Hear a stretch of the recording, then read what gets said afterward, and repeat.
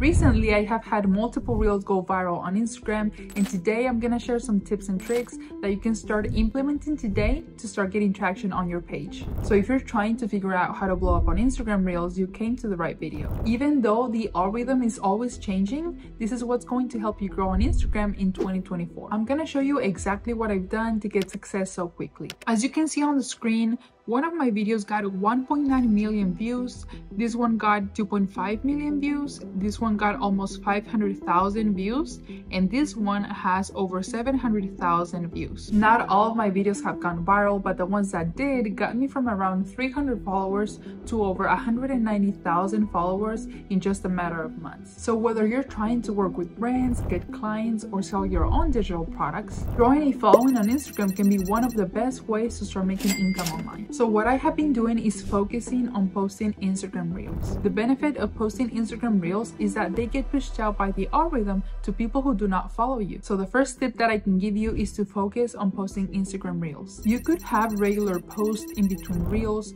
if you really want to post pictures and things like that, but your focus should be on posting Instagram Reels because that's what's going to help you grow on the platform. The second tip is very obvious, but you need to be consistent with posting. At the very minimum, try to post at least four times per week. Posting once per day is going to give you the best results since that's what I did to grow my account so quickly. You're not gonna get any traction if you don't post. Consistency is very important in order to grow. I know it can be very hard when you put a lot of effort into a video and then whenever you post it, it flops. But once you start putting out content to Instagram, you're going to start to learn what works best for your account, which I'm gonna get to later in this video. Never delete anything that you have posted on the platform because you never know if that video is going to get traction later on. I have had videos that flop whenever I post them, but then a few weeks later they start to get traction and then go viral. It's very important to keep all of your content on Instagram and never delete anything. My third tip is to use hashtags. I notice that whenever I post and add hashtags to my Instagram reels, they tend to perform better. I know this is a very controversial topic because I have seen creators who say that hashtags no longer work and I also have seen other creators who claim that hashtags still work. Again, I'm sharing what has worked best for me.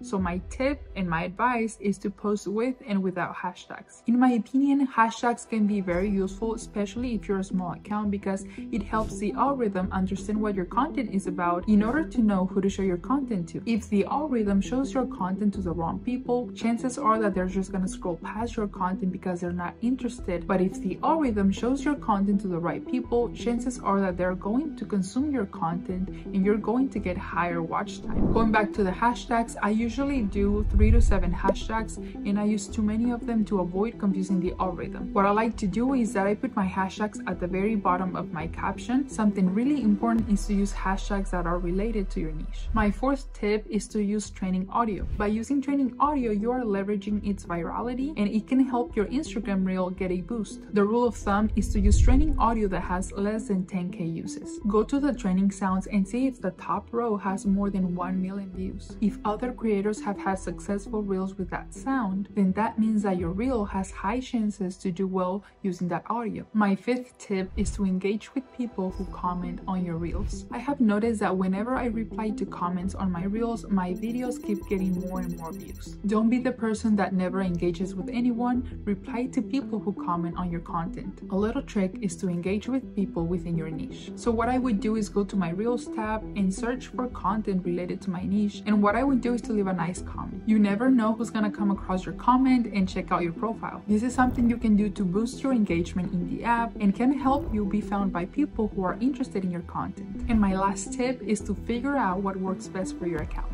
Once you have an Instagram reel do well, recreate more videos like that one. After I had my first viral video, the videos that I posted after that viral video didn't do very well. What I started doing is recreating videos similar to the one that went viral. My advice is to test different types of reels and once you find one that does well for your account, keep creating videos like that one. A little bonus tip is to always record your day-to-day -day basis. What I mean is to record yourself while you're reading, while you're at the gym, while you're cooking. This is a super simple way to always have footage for your Instagram reels. You can always reuse footage that you already have used in the past from your camera roll, but there's no such thing as having too much footage in your camera roll ready to use. So if you want to learn how I find the best video ideas to create for my Instagram page, how to find the best trending audios, how I edit my reels, how I structure my captions for more engagement, and all my best secrets to explode your Instagram reels, I actually created a course that teaches you the same formula that I use to get my Instagram reels to go viral